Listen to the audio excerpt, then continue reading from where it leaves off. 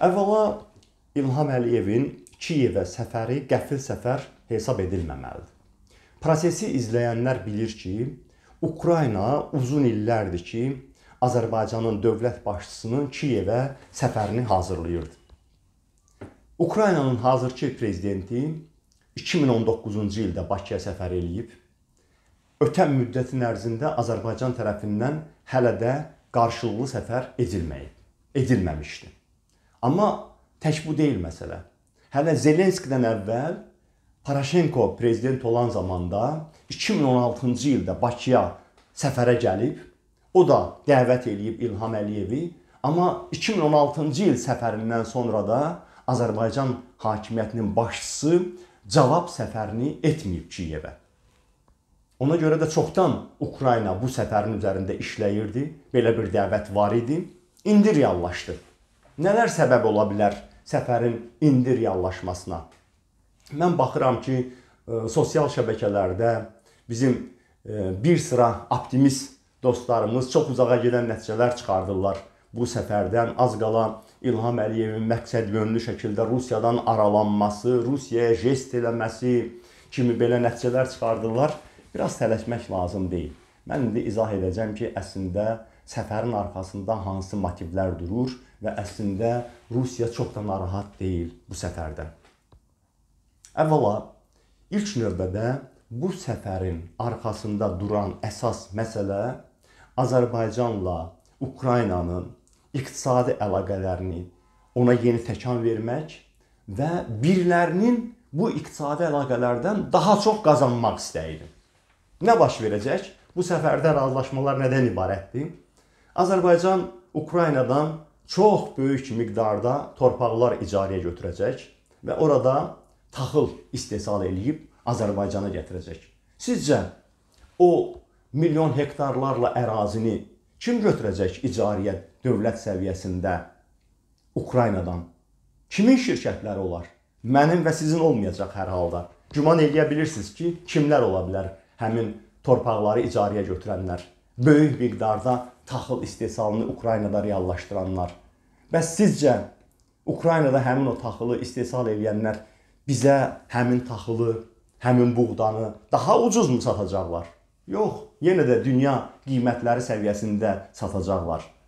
Azərbaycanda birilərinin şirkətləri Ukraynada qaz vurub qazan dolduracaqlar deyə heç ümid olmayın ki, burada çörəyin, unun qiyməti ucuzlaşacaq. Xeyr, onlar ciblərini dolduracaqlar. Bu bir məsələ. İkincisi, son illərdə Sokar, Sokarın Ukraynadakı törəmə şirkəti Ukrayna bazarında neft məhsulları, yanacaq məhsullarının satışı üzrə çox böyük bir pay götürüb ələ.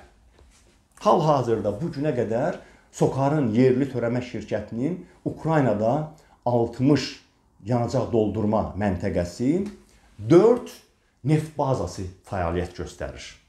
Amma bu günlərdə Ukraynada böyük bir yanacaq doldurma şəbəkəsini Sokara satıblar. Sokarın törəmə şirkətinə satıblar. Artıq o şirkətin alınmış yanacaq doldurma məntəqələri daha 127 olacaq. Yəni 60-ı var idi, birdən-birə 2 dəfə artacaq. 127 yeni yanacaq doldurma məntəqəsi gəlir. Daha 6 neft baza gəlir. Hətta Sokarın törəmə şirkəti Ukraynada deməli e, müxtəlif başqa yanacaq materiallarının da satışına girişir, qaz bazarına da girməyə çalışır və yeri gəlmişkən yenə də hər fürsətdən istifadə edib Azərbaycan hakimiyyətinə yarınmağa çalışanları xəbərdar eləyim ki, bunu o şəkildə təqdim eləməyə tələsməyin ki, güya Rusiyanı, Rosnefti biz oradan sıxışdırıb çıxardırıq. Azərbaycan qərb yönümlü siyasət aparır. Xeyr, təəssüf ki, xeyr.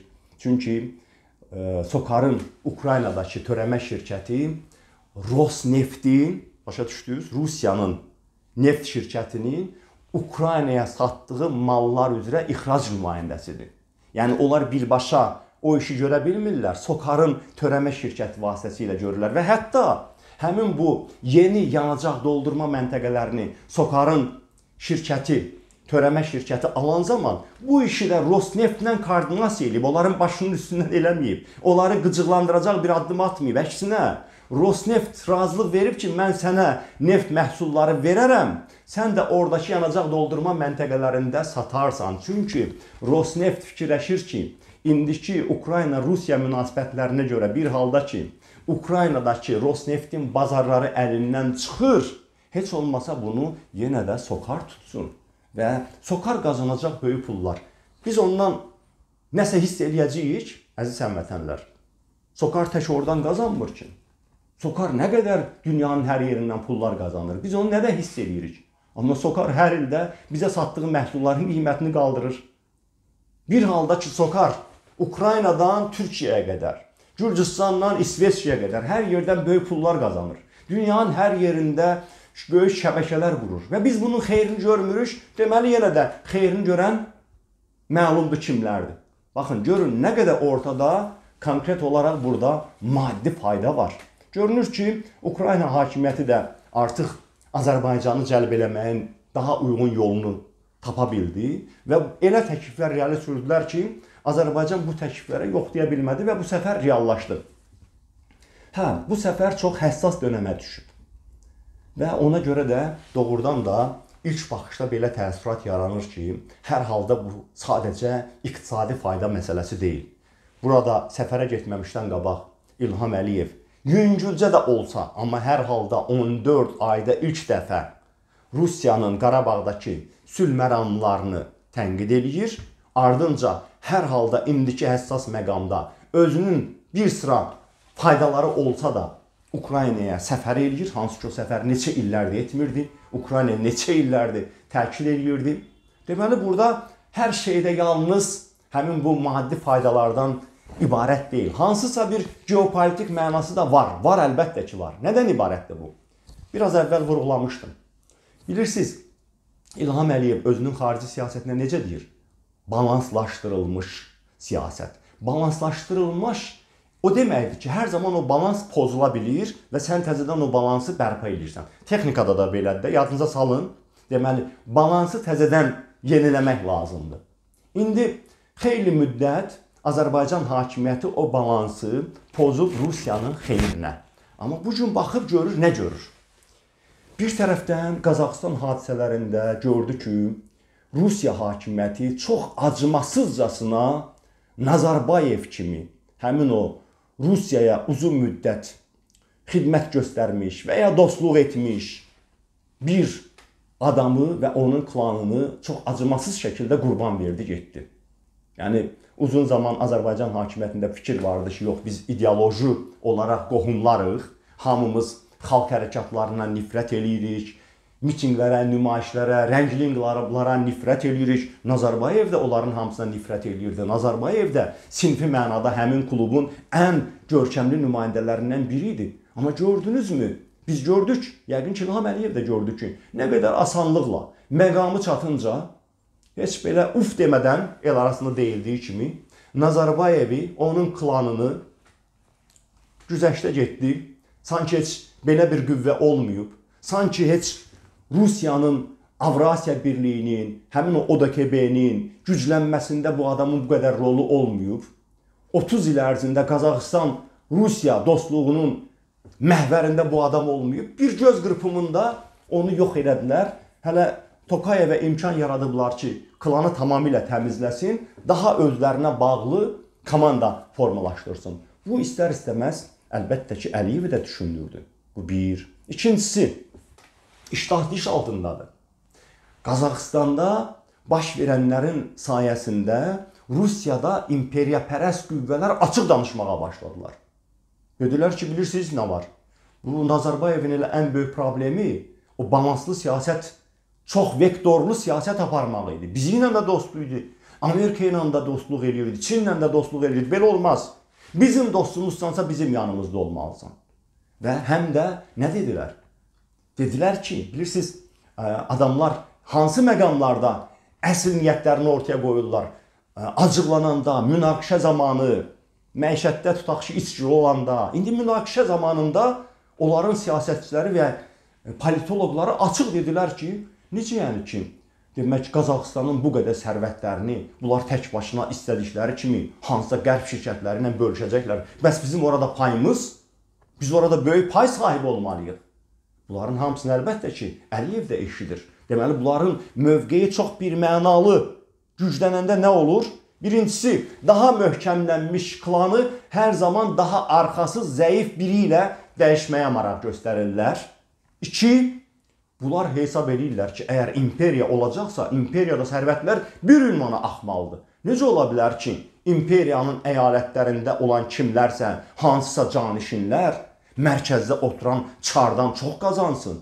Onların təfəkkürü bunu qəbul eləmir. Yəni maddi sərvətlərin yenidən bölgüsü ilə təhdid edirlər həmin o müstəqil dövlətləri, hansıları ki elan ediblər öz nüfuz dairələri. Əlbəttə ki, Əliyev də bunları görür və istəyir ki, müəyyən qədər məsafə qoysun araya.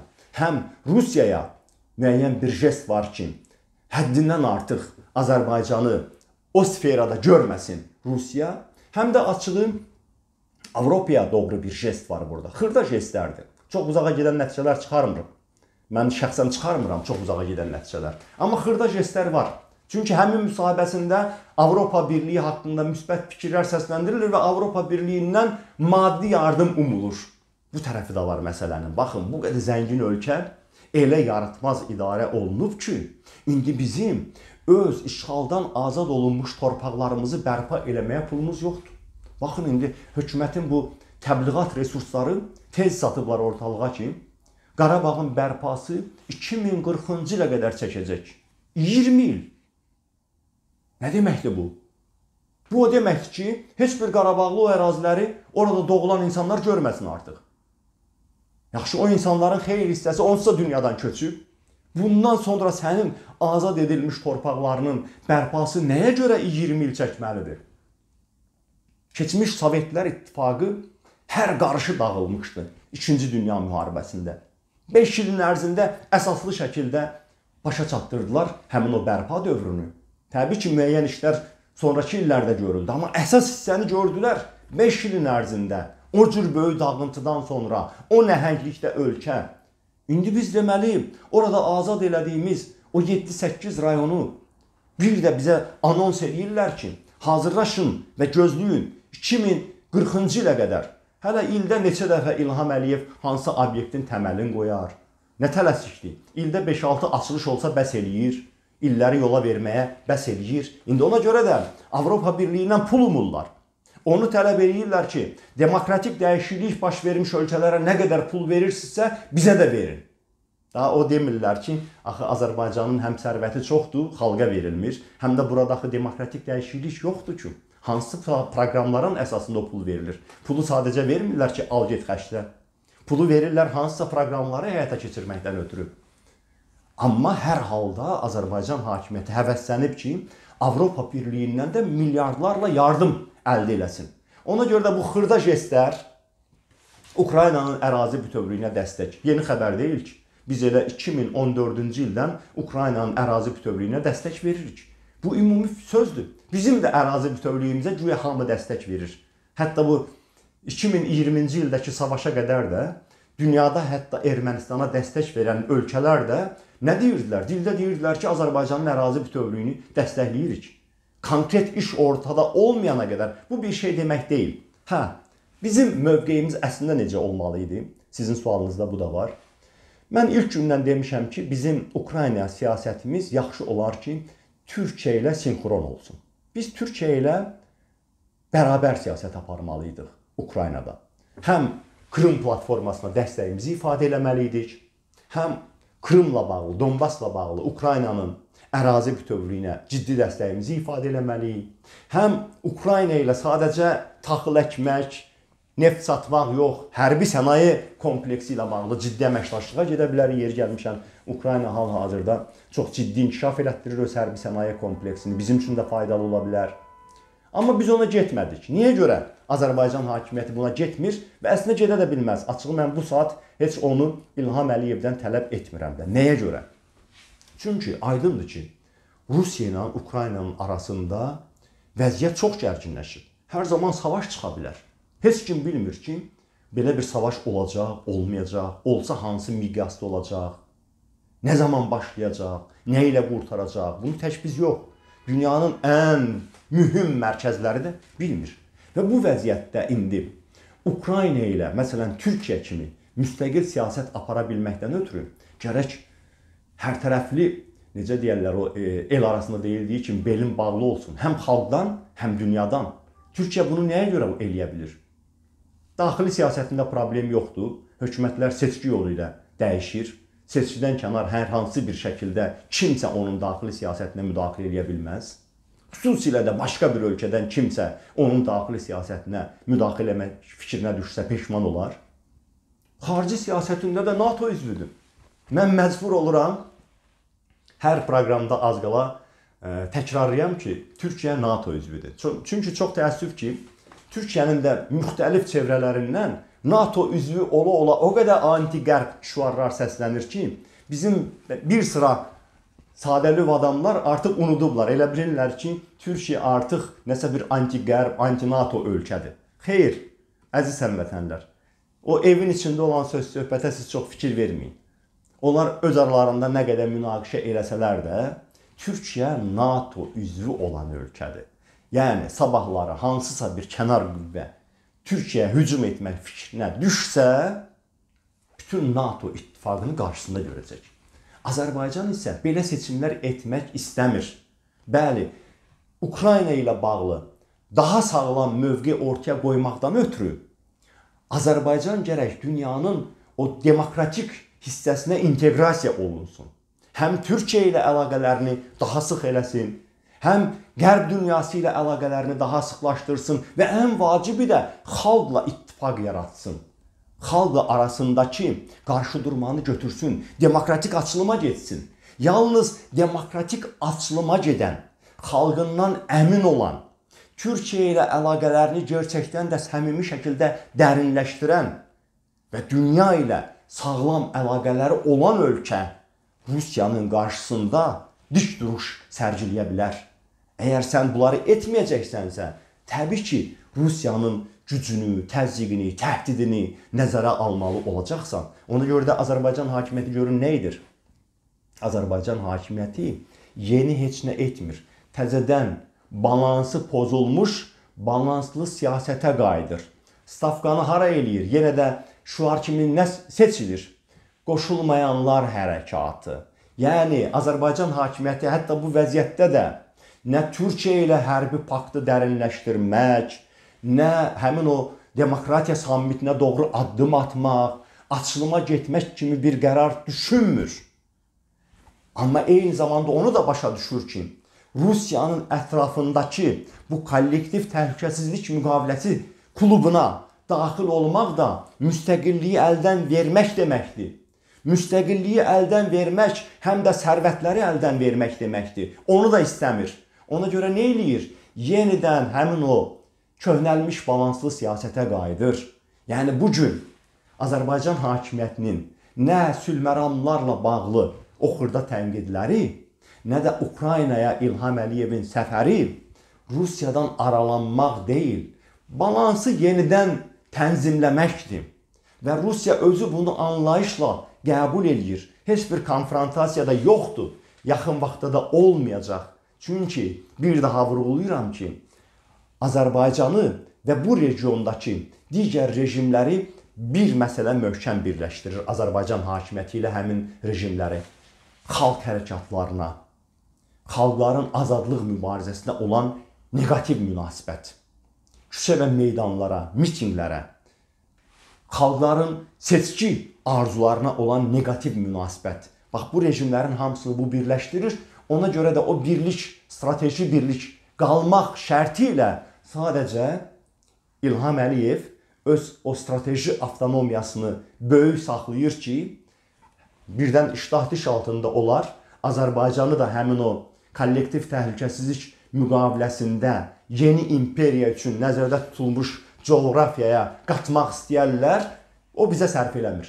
Çox nadir hallardan biridir ki, Azərbaycan xalqı ilə Əliyev sülalə hakimiyyətinin maraqları bu məsələdə üst-üstə düşür ki, Azərbaycanın tam olaraq həmin o imperiya tərəfindən həzm edilməsi, o imperiyaya qatılması xalq olaraq bizim ilk növbədə maraqlarımıza ziddir, amma həm də bu ölkəni idarə edib onun sərvətlərindən istədiyi kimi faydalanan qrupun da maraqlarına ziddir. Hələlik bu gün üçün bu bizim belə deyək, dövlət müstəqilliyimiz üçün əlavə müəyyən təminatlar yaradır, amma mən fürsətdən istifadə edib demək istəyirəm ki, bir halda ki, şimalda yenidən imperiya ambisiyaları güclənib, Azərbaycanın dövlət müstəqilliyi üçün ən yaxşı təminat xalqa doğru addım atmaq, demokratikləşmək, siyasi açılıma getmək, siyasi məhbusları azad etmək və ölkənin daxilində doğrudan da